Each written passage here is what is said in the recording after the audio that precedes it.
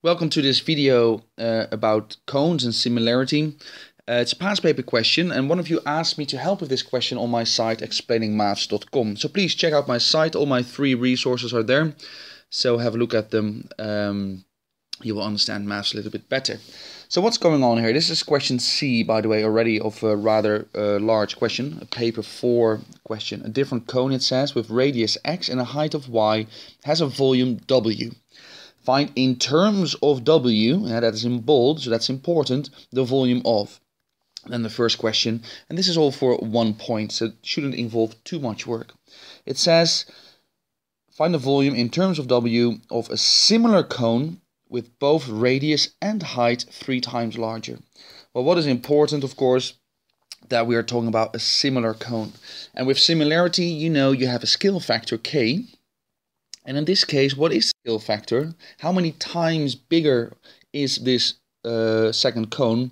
Three times larger, so the k, the scale factor is 3.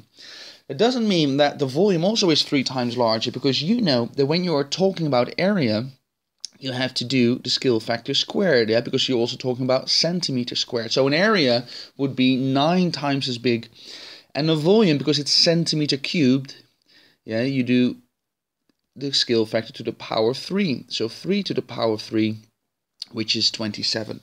So the volume of this similar cone yeah, with a radius and height 3 times larger is going to be 27 times larger than the original cone.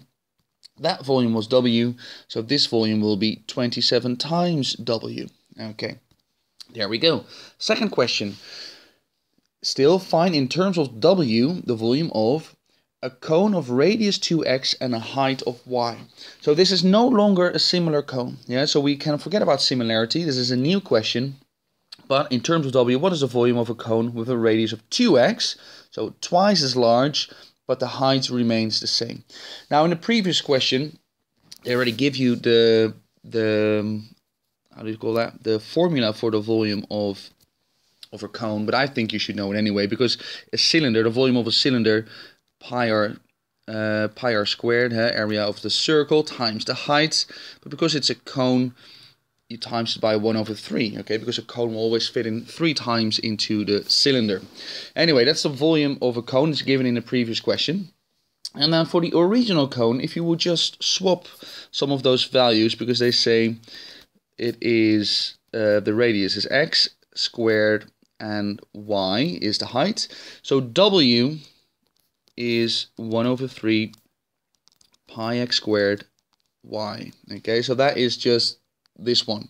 Okay, with a radius of x, so x squared, and the height is y, gives you a volume w. Okay, and now they ask me, in terms of w, what is the volume of a cone of radius 2x and a height of y?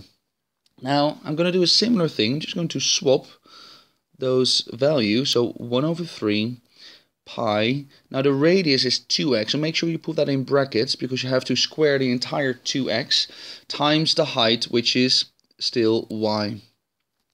And then you will notice that 2x squared, just do times here, is 4x squared times y.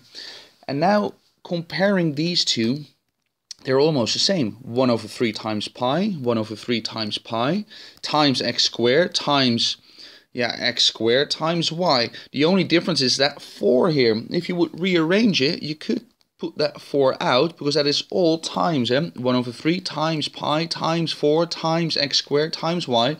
So if I take that 4 out and rewrite it, 1 over 3 pi times x squared times y, then I notice that inside the brackets is w. You see that? Inside the brackets here in the near for the new cone is the same as W. But I have inside the brackets times 4. So my answer is going to be 4 times W. It's going to be 4 times as big. I hope that was useful. Like and share if it was. And again, check my site explainingmaths.com and you'll find all my resources nicely organized. Have a good day. Bye bye.